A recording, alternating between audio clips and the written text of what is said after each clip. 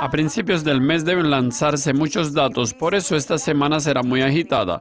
Ahora analizaremos algunos eventos principales de la semana actual con el director ejecutivo de London Stone Security.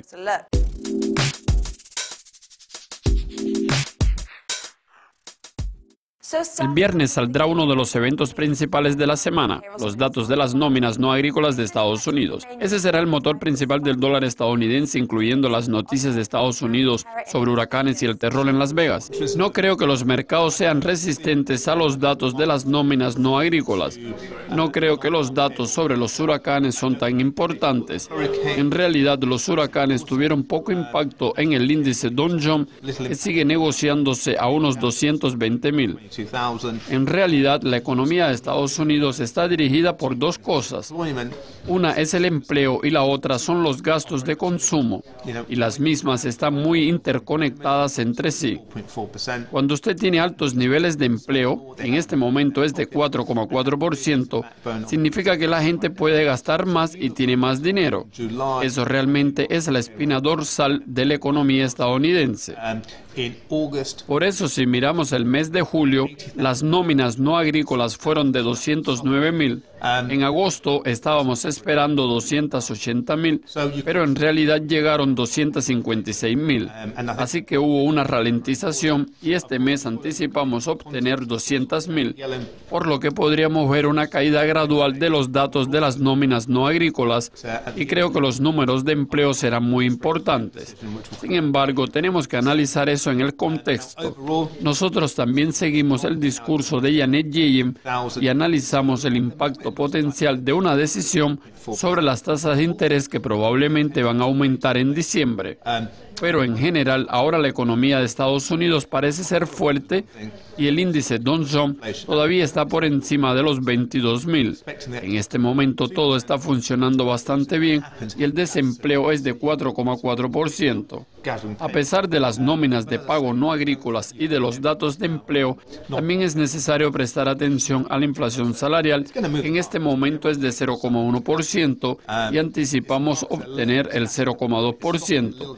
Si eso ocurre, entonces la economía de Estados Unidos está acelerando el ritmo. El miércoles Janet Yellen dará otro discurso. Ese será un gran motor de mercado. ¿Qué frases clave podemos obtener del discurso de Yellen? Bueno, en sus comentarios la semana pasada, Janet Yellen sugirió que ella está a favor de otro aumento de las tasas en diciembre y nadie sabe si la decisión será aprobada o no. Pero sabemos que aumentó la probabilidad de que se produzca otro aumento de las tasas de interés de acuerdo con el mercado. Antes la probabilidad de un aumento de las tasas era de 45 a 50% y ahora la probabilidad es de 70 a 80. Y basándose en eso, la semana pasada el dólar se fortaleció. Ahora lo interesante es que desde el mes pasado la moneda más fuerte fue la libra esterlina y eso fue porque el Banco de Inglaterra también está listo para aumentar las tasas de interés en noviembre. También es interesante que Ye mencionó el hecho de que la flexibilización de la política monetaria también causaría consecuencias muy serias para la economía de Estados Unidos. En este momento están ocurriendo muchos cambios, no solo en Estados Unidos, sino en todo el mundo. El estímulo fiscal que vimos desde 2007-2008 ahora está llegando a su fin.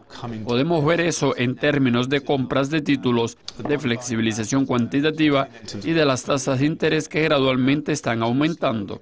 El problema en Estados Unidos es que la inflación permanece por debajo de 2% y parece que en ese país no están tan preocupados por la inflación en comparación con el Banco de Inglaterra, donde la inflación parece ser un factor importante en el proceso de la toma de decisiones sobre las tasas de interés.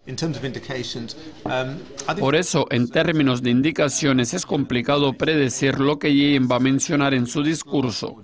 En mi opinión, el tono de ella podría ser ligeramente más blando de lo que era la semana pasada. Ahora el dólar tiene poco valor porque mucho fue incluido en el precio y hasta podemos observar que el dólar comenzó a caer ligeramente. Tal vez es mejor seguir el par euro-dólar y el libra-dólar, pero si las nóminas de pago no agrícolas son significativamente diferentes y varían mucho del nivel anticipado, el discurso de Yellen que saldrá el miércoles será menos importante. Esta semana comenzó con los datos manufactureros del Reino Unido, por lo que el crecimiento en el Reino Unido se revisó a la baja. ¿La libra estará en riesgo esta semana?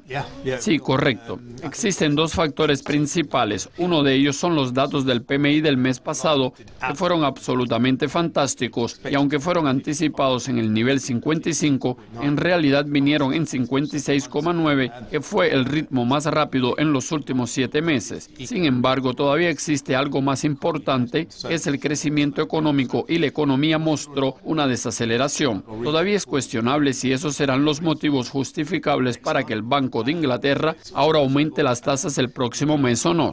Además, sabemos que el Banco de Inglaterra está hablando del aumento de las tasas por más de un año y hasta la fecha no ha sucedido nada.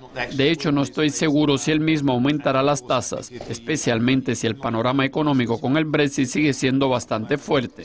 Como ya había mencionado, mi posición es alcista en la libra frente al dólar y creo que volveremos a los niveles 1,35. Estoy ligeramente escéptico en términos del euro y sigo pensando que en este momento el mercado global probablemente es el mejor lugar para involucrar al euro. La economía de Estados Unidos parece ligeramente sobrevalorada y la economía de ellos todavía está tratando con el Brexit e investiga cuál será el efecto. Por lo tanto, en este momento estoy mucho más a favor del euro a largo plazo. Pero como ya había dicho, esta será una semana importante. Tampoco debemos olvidar el discurso de Mario Draghi que podrá proporcionar alguna dirección para el mercado entero. Por lo tanto, los factores más importantes no solo son las nóminas no agrícolas, sino Janet Yellen y el PMI. Esta será una semana muy agitada, pero no se olviden que el mes de octubre es históricamente malo para los mercados. Sin embargo, es probable que veamos una ligera flexibilización y precios para equidades y eso va a influir en las monedas también. Esa va a ser una gran semana. Ranjay, muchas gracias por sus conocimientos y gracias por su visita. Ya que ha sido una semana muy agitada, Mario Draghi también dará un discurso y el miércoles nuestro periodista Jack Everick analizará el euro. Sigan conectados para más entrevistas.